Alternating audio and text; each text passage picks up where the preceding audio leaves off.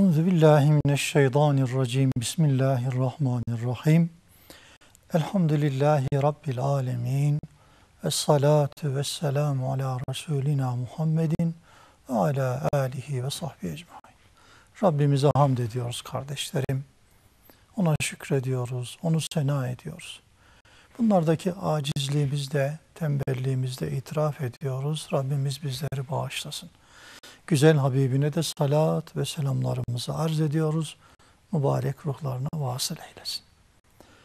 İnsan Rabbinin kuludur.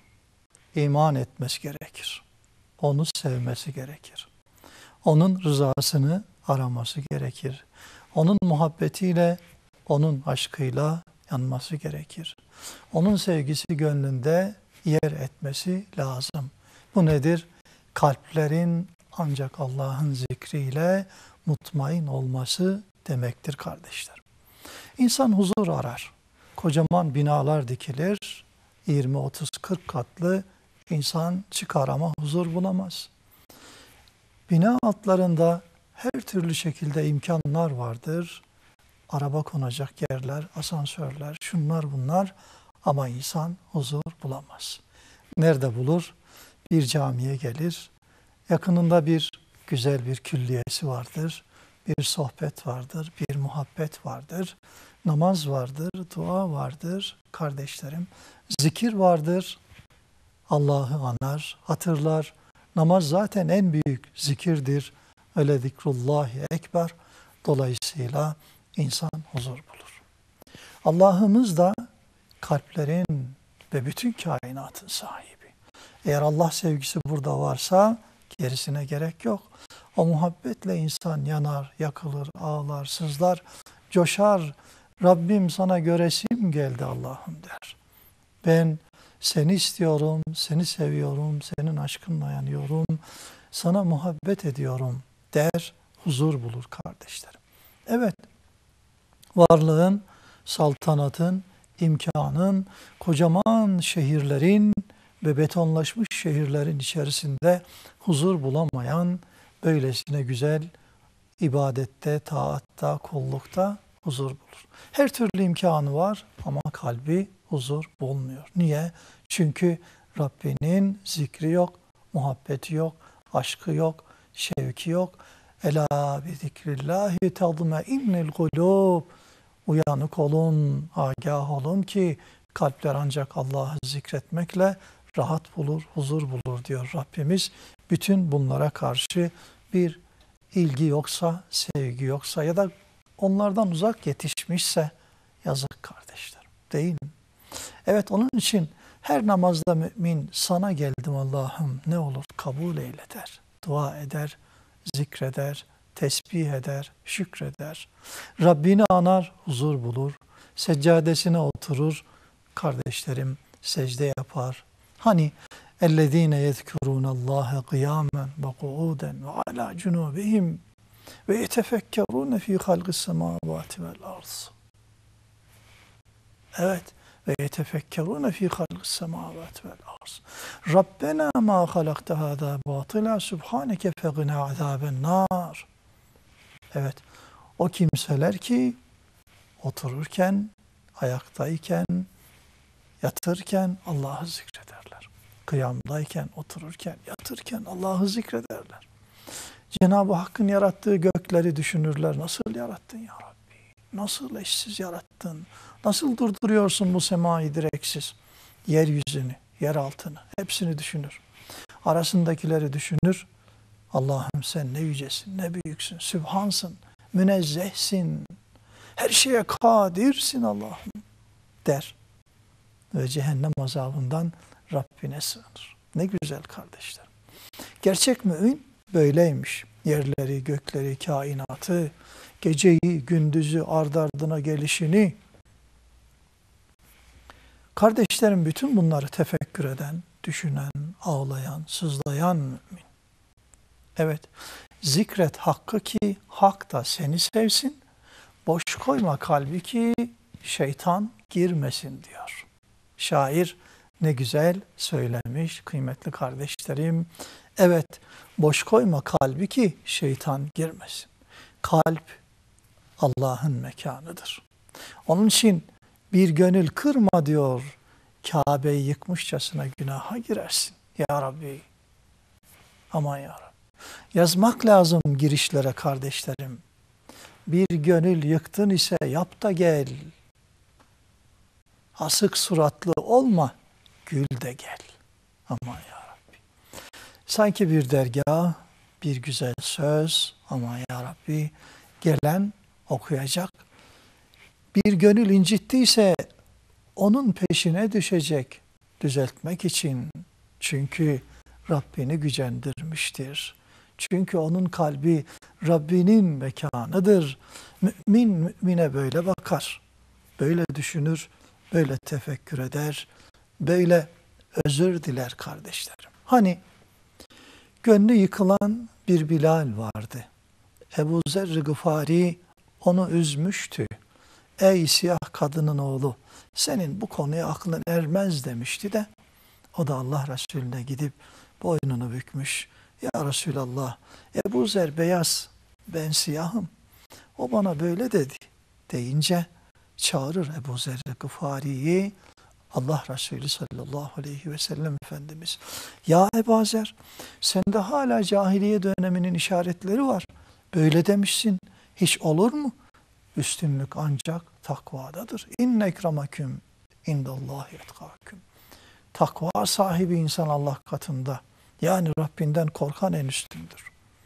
En çok korkan en üstün olanınız diyor Cenab-ı Hak. Deyince kardeşlerim Ebu Zer yaralanır.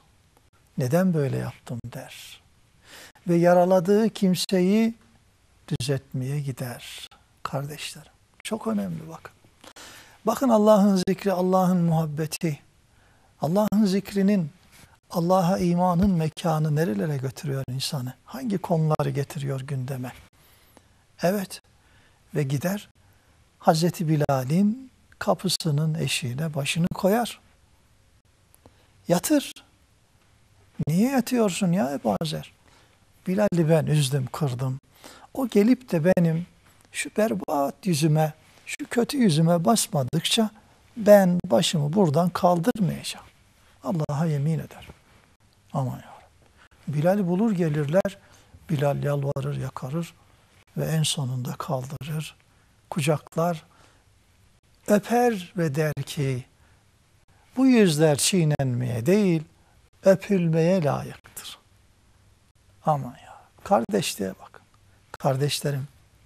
Onun için mümin kırdıysa düzeltecek ama bir şey var. Şu camdır. Cam bir fanusu düşünün, bir bardağı düşünün, bir güzel o cam malzemesini düşünün kardeşlerim. Kristallerden yapılmış bir vazoyu düşünün. Kırılıverdi. Aman üzüldük, üzüldük, üzüldük. Ne yapalım?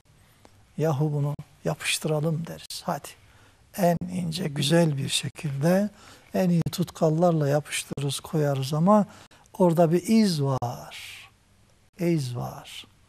O izi kaybedemiyoruz. Kırılmış, yapışmış. Onun için ne kadar gönüller alsan da kırdıktan sonra bil ki orada bir iz olacak. Bir cam fanus gibi, bir vazo gibi der. Değil mi kardeşlerim? Büyüklerimiz hikmet ehli insanlarımız öyle derler. Onun için kırmamaya bak, düşürmemeye bak, üzmemeye bak. Öncesinde güler yüzlü, tatlı dilli, muhabbette olmaya bak. Böyle olursa kim razı olur? Cenab-ı Hak razı olur, hoşnut olur. Niye? Mümin kardeşimizin kalbinde Allah sevgisi var. Allah'a iman var. Zikirlerin en güzeli la ilahe illallah var dilinde. Allah Resulü zikrin eftali la ilahe illallah buyurmuşlar. Muhammedur Resulullah. Sallallahu teala aleyhi ve sellem. Bu ne kadar güzel kardeşlerim. Ne büyük huzur, ne büyük saadet, ne büyük mutluluk. Onun için mümin tabii Rabbini zikrettikçe bir de Allah'ın hatırlaması hasıl olacak. Ezkuruni ezkurkum. Siz beni hatırlayın, unutmayın, zikredin ki ben de sizi hatırlayayım. Nerede mizanın başında? Nerede ölüm anında ondan önce? Rabbim Allah'ım diyerek can vermek. Eşhedü en la ilahe illallah ve eşhedü enne Muhammeden abdühü ve resulü diyerek can vermek. Hemen bir kıssa aklıma geliverdi kardeşlerim. İki genç, tabii bir aile, alim bir babanın çocukları. Ama alim baba hep talebeler, hep kurslar, hep hayır, hep fakir, hep fukara koşturup duruyor. Akşam sofrasında babalarını nadir görüyorlar. Ama onları da ihmal etmiş değil, onları da yetiştiriyor bu arada. Yetiştirmiş. Böyle sitem ederler hanımı, çocukları. Neden böyle kendini çok yıpratıyorsun? Neden çok kaptırıyorsun? Bak haline dayanamıyorsun, gücün de yetmiyor. Hasta oluyorsun, soframızda bulunmuyorsun. Şikayetler çok. O da başını eğer koşar kardeşlerim. Ve gün olur, yatır, Rabbine gidecektir. Artık son anlarıdır. Yanında evlatları var. Bir ara gözlerini açar, kaldırın beni ayağa. Babacığım rahatsızsın, nasıl kaldıralım? Çabuk olun, yardım edin. Hemen canlanır adeta. Kaldırırlar kardeşlerim, ayağa dikerler. O mübarek saat kollarını açar ve şöyle seslenir. Hoş geldin ya Resulallah. Aman ya Rabbi. Aman ya. Ben gelecektim. Niye zahmet buyurdunuz? Kardeşlerim, gençler babalarını tekrar yatırırlar ama ağlaşmaya başlarlar. Ve şehadetle Rabbine kavuşurur. Rabbimiz bize öyle ölüm nasip etsin diye dua edelim. Olmaz mı kardeşler? Allah Resulü'nün refakatinde. Ne güzel. Baba ruhunu teslim eder. Ağlaşan gençler. Bilememişiz seni ey babacığım. Keşke bilebilseydik. Keşke anlayabilseydik bu kadar çabanı. Kazanan sen olmuşsun derler. Kardeşlerim öyledir. Allah Resulü'nün duası Allahümme e'inni ala zikrike ve şükrike ve husn ibadetike. Evet, hadisler yolumuzun aydınlığı, ayetlere giden yol kardeşlerim. Kur'an'a giden yol ne güzel elhamdülillah. Allah'ım seni zikretme, sana şükretme ve sana güzel ibadet etme konusunda bana yardım et. Bize yardım etsin Rabbimiz. İşte zikir, işte anmak nedir? Unutmamaktır. Allah'ı unutmamak. Yemede, içmede, oturmada, kalkmada, işte, aşta, yatarken, kalkarken, otururken, sohbet ederken, giderken, gelirken, her mekanda. Gören kim var Rabbimiz? Unutmamak. İhsan mertebesi. İhsan nedir ya Resulallah deyince Hazreti Cibril Allah Resulüne hem soruyor hem tasdik ediyor diye meşhur hadis. İhsan Allah'ı görüyormuşçasına ibadet yapmandır. Her ne kadar sen onu görmüyor isen de her an o seni görüyor. İşte zikir, hatırlamak, anmak budur kardeşlerim. Ne kadar güzel değil mi? Allah'ı zikreden bir meclis görmüş melekler de gökyüzüne çıkınca oraya katılmışlar. Onlarla beraber olmuşlar, muhabbet etmişler. İlim, hikmet, zikir, muhabbet var. Allah onlardan ayrı koymasın. Neredeydiniz ey meleklerim? Ya Rabbi böyle bir mekandaydık. Peki kullarım beni görmüşler de bana ibadet ediyorlar. Hayır, görseler çok daha ederler. Ne istiyorlar benden? Cenneti. Gördüler mi? Hayır. Görselerdi çok daha isterler. Neden sığınıyorlar bana? Cehennemden. Gördüler mi cehennem mi? Hayır ya Rabbi. Görselerdi çok daha kaçınırlardı. Şahit olun ben onları affettim. Meleklerden birisi cesaretlenir. Ya Rabbi onlar içerisinde bunun için değil de bir arkadaşını görmek için gelen vardı. Ona ne buyurursun? İyilerle beraber olanın sonu kötü olmaz. O da onlar içerisinde bağışlandı. Rabbim bize bu güzellikleri nasip etsin kıymetli kardeşlerim. Kısa bir ara ardından ikinci bölümde beraber olalım inşallah.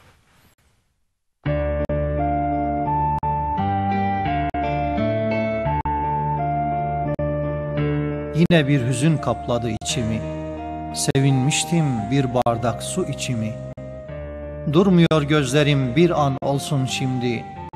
Resulün kurbundan ayrılık mı şimdi? Ey badı sabah, alıp getirmiştin önce selamı. Gönülde hecelere dizmiştin nice kelamı. Tam hasret bitti derken ayrılık mı yine? Kavuştur yeniden Rabbim gül Habibine. Salatu selamlarla gelmiştim daha dün. Ne zaman dolu verdi acep onca gün. Alışmıştım almaya bin üzerine bin. Artık bitti dediler şu an misafirliğin. Bir nur yükselir üstünden kubbe-i hadranın. Sevgiyle dolup boşalan şu eşsiz mekanın. Huzur dolar gönüller huzuru Resul'de. Tekrar nasip diler diller her vakitte. Bir sevgiseli ki akıllar buna durur. Seven gönüller bazen coşar, bazen durulur. Aşıklar ise tam ciğerinden vurulur. Dur ey kişi, edepsiz olan Medine'den olur. Sayılı günler çabuk geçermiş meğer. İşte ömür de bir gün böylece biter. Bitmeyecek günlere yatırım olursa eğer, bu hal Resulullah'a komşulukla biter.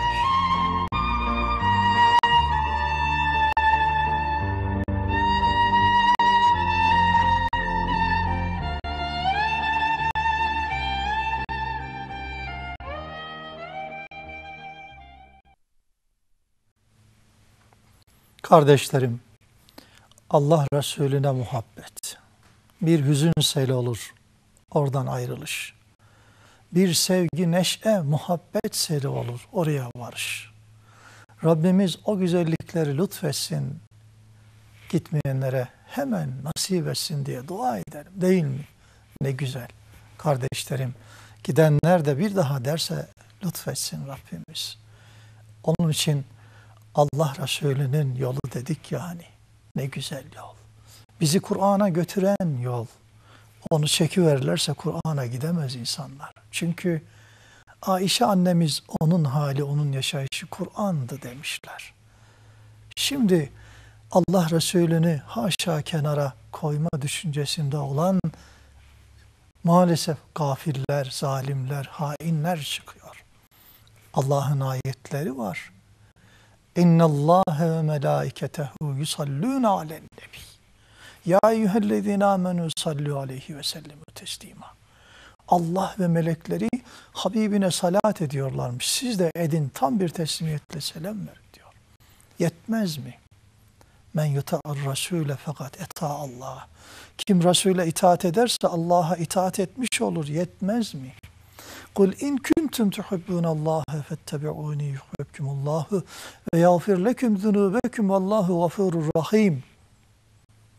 De ki ya Habibim eğer Allah'ı seviyorsanız bana uyun ki Allah da sizi sevsin ve günahlarınızı bağışlasın.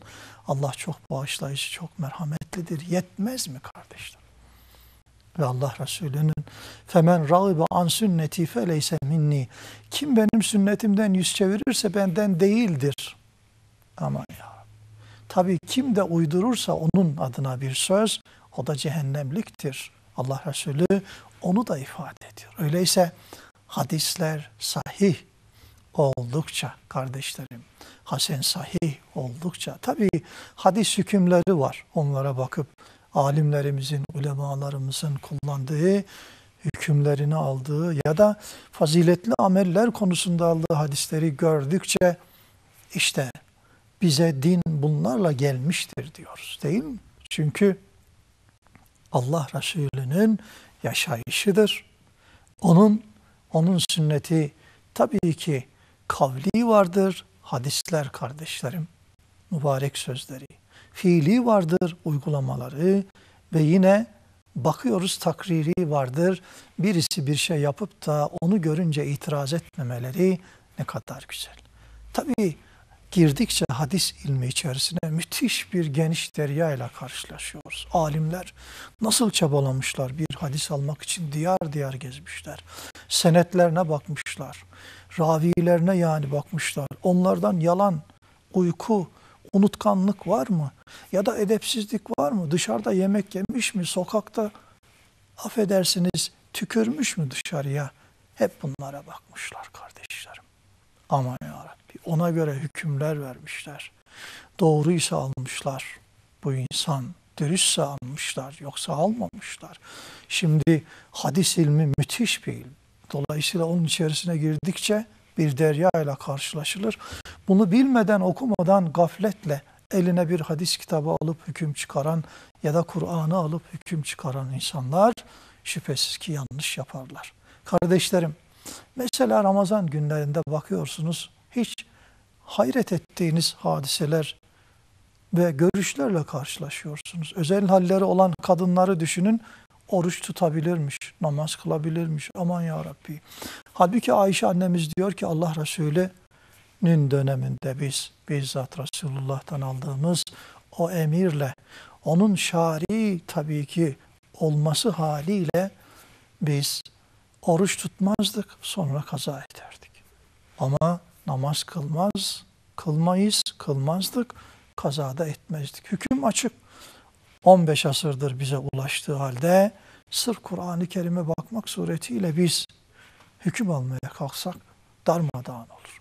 Allah Resulü'nün getirdiği, o koyduğu ve Cebrail Aleyhisselam'la görüşerek ve ma yentuhu anil heva in huve illa vahyuha o nun konuştuğu vahiyden başka bir şey değildir ve boş konuşmaz. Allah'ın vahyinden başka bir şey konuşmaz. Hükmü açıkken Allah Resulü'nün bu uygulamalarını kenara koyacak olsa insanlar sapar gider. Bunun gibi nice örnekler var. Onun için ulemamızın, mezheplerimizin, ehli sünnet alimlerinin getirmiş olduğu, orta yere koymuş olduğu, yazmış oldukları ve asırlardır amel edilen hükümleri asla unutmayalım kıymetli kardeşler. Ki Allah Resulü'nü seversek, Allah Resulüne uyarsak, onun gittiği yoldan gidersek işte o zaman sapmayız. Size iki şey bırakıyorum diyorlar Efendimiz sallallahu aleyhi ve sellem. Sarıldığınız müddetçe asla sapmayacağınız.